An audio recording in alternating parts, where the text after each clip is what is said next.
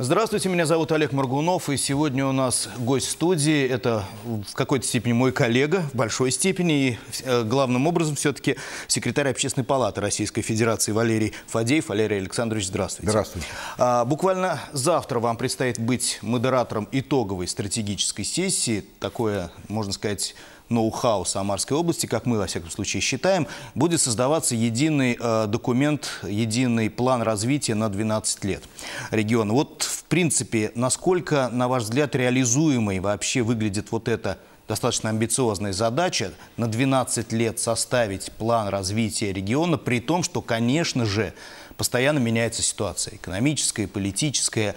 Насколько это реализуемо? Она всегда меняется, ситуация. Сейчас меняется, 10 лет назад менялась, 50 лет назад менялась. Лучше план плохой, чем никакого. План нужен всегда. А, и тем более можно только приветствовать, что здесь в вашей области создается план долгосрочно, 12 лет. Это очень важно. Не надо бояться составлять планы. Это первое. Второе. Ясно, что это не догма, и, конечно, он будет корректироваться. Так, план это ведь есть не только, мы привыкли, что в советской экономике Плановые. и в Советском Союзе были планы. Это не так. Планы есть всегда и везде. И даже в США в либеральной экономике есть планы. А Франция развивалась после войны по своим пяти- или шестилетним планам, сейчас не вспомню. У Китая есть свои пятилетние планы. Так что планы необходимы. И то, что и э, э, власти области, и эксперты, и общественность захотели и позволили себе создать такой план, может только приветствовать. Ну, одно дело планирование по отраслям. Мы понимаем, что там сельское хозяйство было, это все уже знакомо, это все привычно. А здесь попытка это все как-то в единую систему увязать. Вот как вам кажется, это получится? Ну, тоже из той же оперы. Просто за последние там, лет 20-25 э, мы немножко забыли, что план надо увязывать. Э, и, естественно, вот это тоже идея абсолютно естественная, что надо увязывать планы. Этого не было э, в прошлом, в недавнем прошлом. Надо уходить от этого.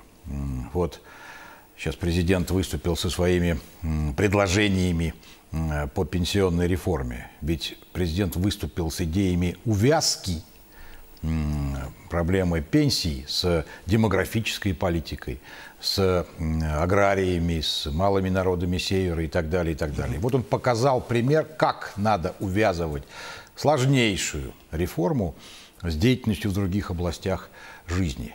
И здесь также это норма, а не исключение. Ну вот особо, особая такая ос, особенность нашего подхода, как мы считаем в Самарской области, это то, что а, в создании стратегии непосредственное участие стали принимать именно общественники. Да? А, слушают граждан, потом уже а, пытаются понять, что делать. Но вот, как правило, все планы создают специалисты. Ну, это нормально, потому что люди разбираются в вопросе. А тут, извините, специалистов поставили уже, скажем так, в зависимое положение. На ваш взгляд, не получим ли мы в итоге, э, ну, вместо действующего механизма, а, некий ну, список пожеланий граждан? Да, вот э, люди хотят этого, мы это сделаем, а будет ли это работать в итоге? Вот в чем проблема. Ведь все-таки э, общественники это, может быть, не все, но дилетанты во многом. Вопрос такой сложный и очень глубокий. Во-первых, э, список пожеланий граждан – это ведь тоже хорошо. Безусловно. И если политика экономическая, социальная, перпендикулярна пожеланиям граждан, это как раз неэффективно и непродуктивно. Это первое. Во-вторых, граждане, они ведь тоже специалисты. Э, кто-то в своей области, в разных областях. Э, и если мы спрашиваем мнение таких граждан, как, например, учителя, педагоги – относительно того, как развивать образование, мне кажется, это нормально. Они все являются экспертами в этой области. Более того, профессиональные эксперты, э, специалисты, они иногда, а может быть даже и часто, отходят от от земли, от понимания того, что там на самом деле происходит, какие на самом деле процессы происходят на земле. Вот пример. Мы в общественной палате обсуждали на прошлой неделе стратегию пространственного развития России. Причем обсуждения прошли и в региональных палатах, и сейчас в Общественной палате России. Эта стратегия предъявлена специалистами а, Министерством экономического развития. Она еще не утверждена, будет передаваться в правительство. На обсуждении в Общественной палате эта стратегия была разгромлена. В Общественной палате разгромлена. Пришлось констатировать, что вот этот документ не является стратегией. Э, там ведь в общественной палате тоже специалисты угу. были, и академики, и руководители институтов, очень серьезные люди. И в том числе представители с мест, руководители региональных общественных палат. Они ведь тоже, знаете, не, не, не умом не бедны. Это угу. все серьезные люди. И вот мы увидели, как действует на этом примере, как, как происходит взаимодействие между обществом и специалистами в том числе, и теми, кто разрабатывает подобные документы стратегии. А, третий. Политика может быть действенной, любая, экономическая, социальная, только тогда, когда она опирается на общество.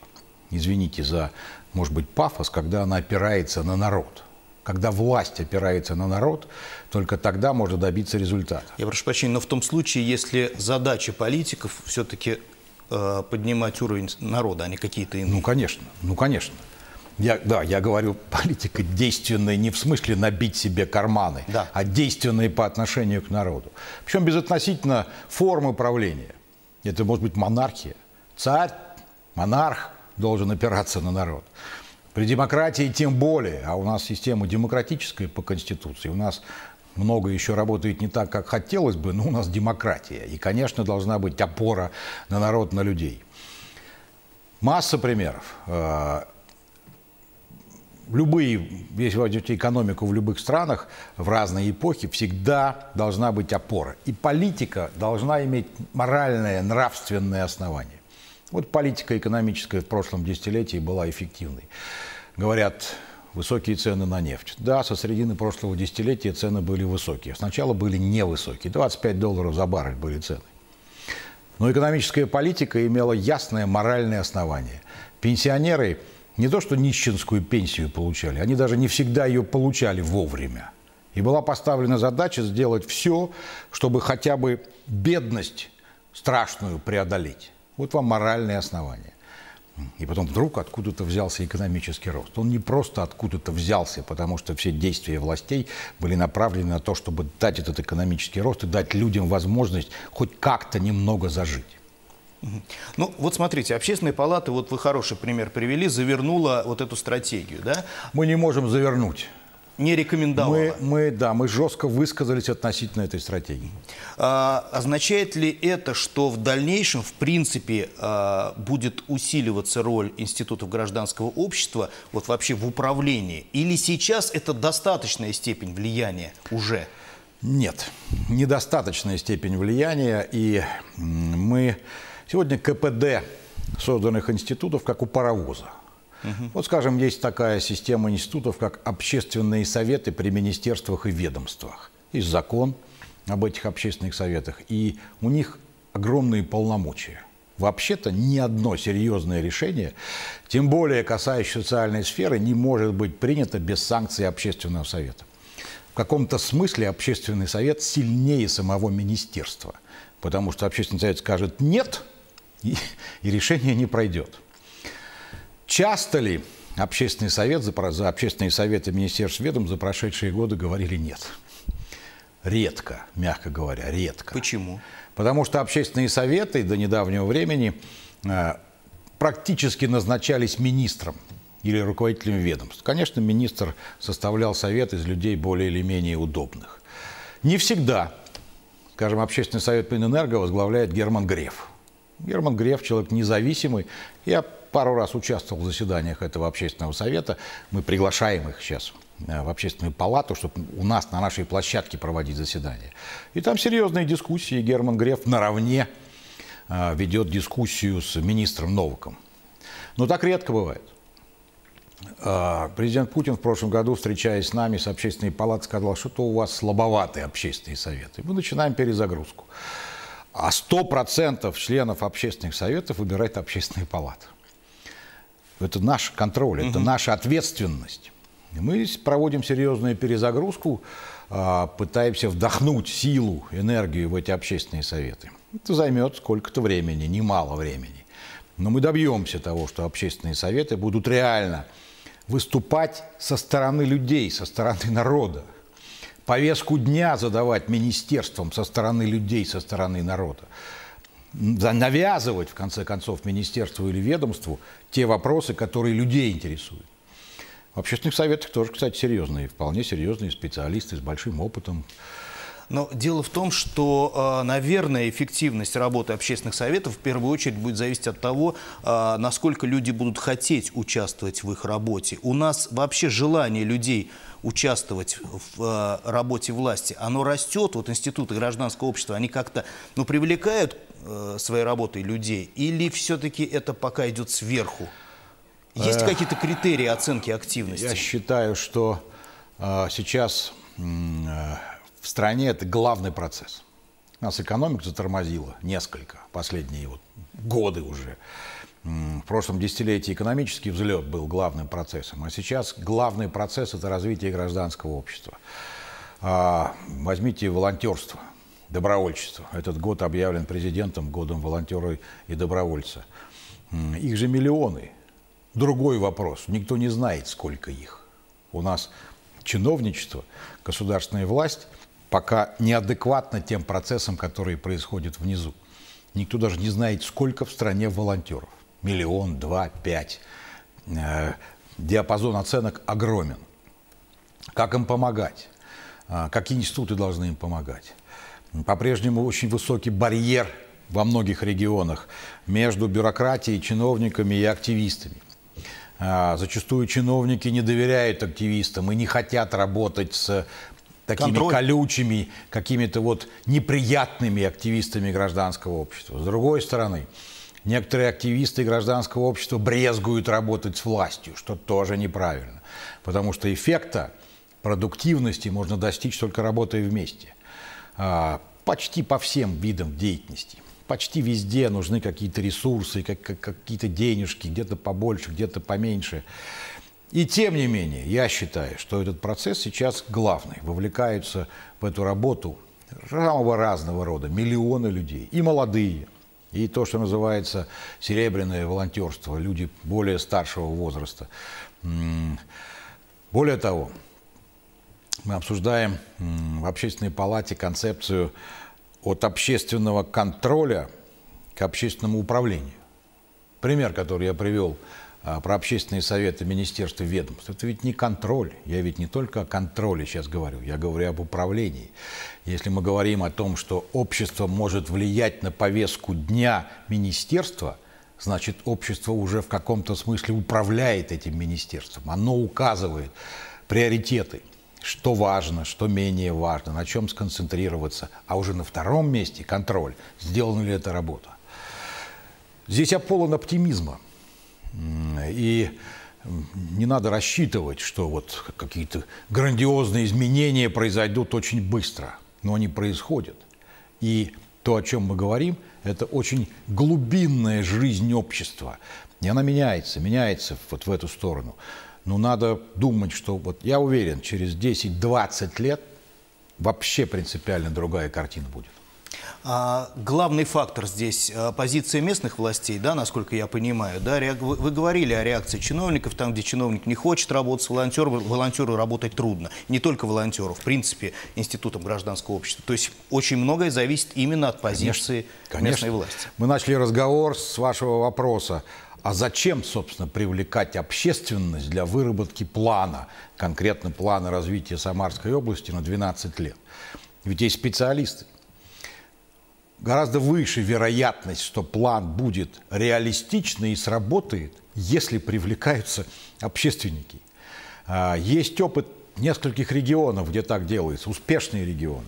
Ну вот сегодня там самые успешные регионы. Тюменская область, там сильный промышленный рост, за последние годы сильная область поднялась, Белгородская область. Там всегда для, для решения даже самого мелкого вопроса, муниципального вопроса, всегда привлекается общественность.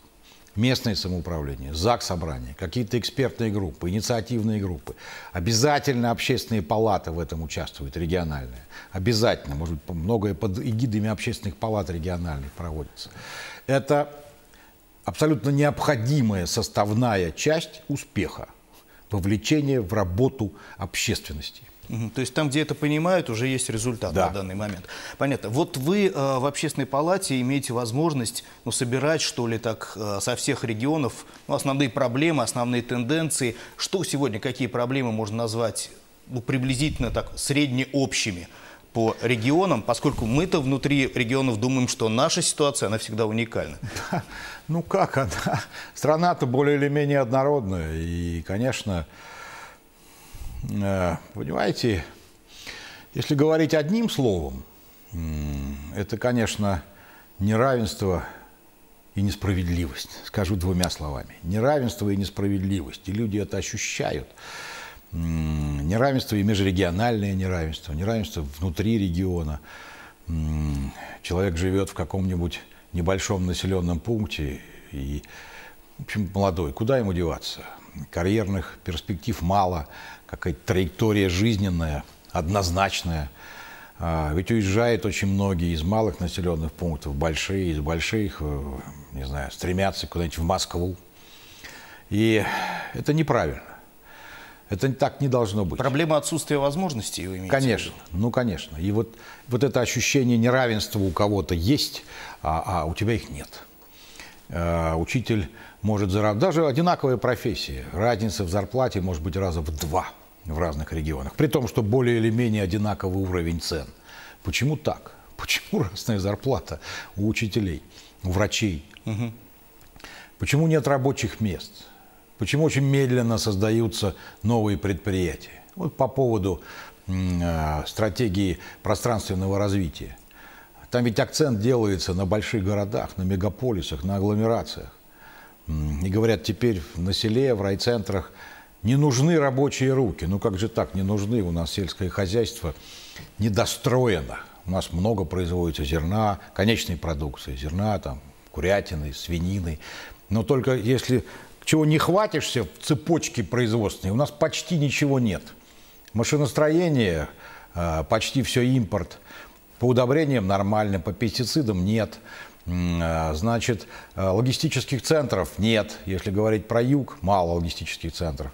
Даже элеваторов недостаточно. Если начать работать по всем звеньям производственной цепочки сельского хозяйства, то и рабочие места появятся. И окажется, что люди не лишние. Окажется, что там тоже можно жить и деньги зарабатывать. И социальная сфера появится. Надо относиться деликатно к тем людям, которые живут на территории страны. Надо пытаться им, для них сделать жизнь так, чтобы у них и смысл появился, и заработок появился, и перспектива появилась.